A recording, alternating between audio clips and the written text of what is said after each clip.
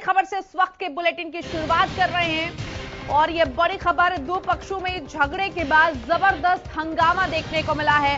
फरीदाबाद से इस वक्त की ये बड़ी खबर, इस हंगामे में दो कार और दो मोटरसाइकिल को आग लगा दी गई। एक पक्ष के करीब डेढ़ सौ लोगों ने दो गाड़ियों को फूंक दिया। साथ ही दो मोटरसाइकिल में भी तोड़फोड़ की गई है। कई दफ्तरों में भी जमकर तोड़फोड़ की गई।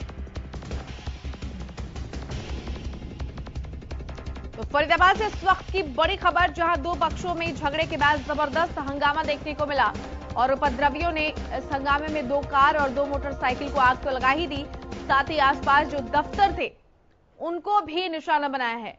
एक्सक्लूसिव तस्वीरें हैं आपके टीवी स्क्रीन पर। देखिए किस तरीके से गाड़ियों में ये तोड़फोड़ की गई है। इन गाड़ियों को फूक दिया गया। संवाददाता राजेंद्र दहिया हमारे साथ जुड़ गए हैं। राजेंद्र, जो तस्वीरें हम देख पा रहे हैं इसमें साफ़ तौर पर उपद्रवी कई गाड़ियों को निशाना बना रहे हैं। पूरा मामला आखिर है क्या?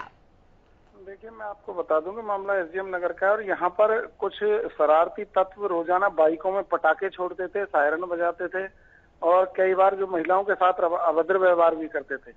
और कहीं ना कहीं उसी का विरोध ये सामने आया है। जब उनको मना किया गया तो उन्होंने और करीब साठ से सत्तर लड़के यहाँ पर बुलाए और सीधी तौर पर आगजनी की और जो गाड़ियों में आग लगा दी और जो वहाँ ऑफ़िस थे उनमें भी तोड़फोड़ की गई है। हालाँकि पुलिस अभी मामले को कंट्रोल में होने की बात कह रही है और जल्द ही जो आरोपी हैं उनको गिरफ़्तार करने की बात भी यहाँ पर कही जा रही है। लेकिन साफ़ तौर पर अगर बात करें जिस तरीके से गुंडागर्दी एक तरह से कहें जो शरारती तत्व हैं उनकी गुंडागर्दी चरम सीमा पर है और सरेआम जो आम लोग हैं जो अपना जीवन यापन कर रहे हैं, जो रोज़ाना लाते हैं और रोज़ाना खाते हैं, उनको तंग करने के लिए किस तरीके से यहाँ गुंडागर्दी हावी होती है, ये नज़ारा सामने आया बिल्कुल।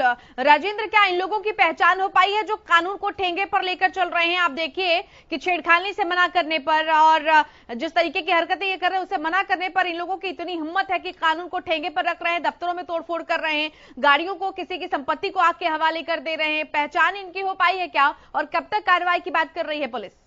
देखिए, पुलिस जल्द ही आरोपियों को धर दबोचने की बात करी हालाँकि पुलिस ने टीमों का गठन किया है और साफ़ तौर पर पुलिस का कहना है कि इस तरह की गुंडागर्दी कतई बर्दाश्त नहीं की जाएगी और जो भी आरोपी हैं उनको एक एक करके, पहचान उनकी करके और उनके खिलाफ सख्त से सख्त कार्रवाई यहाँ पर अमल में लाई जाएगी।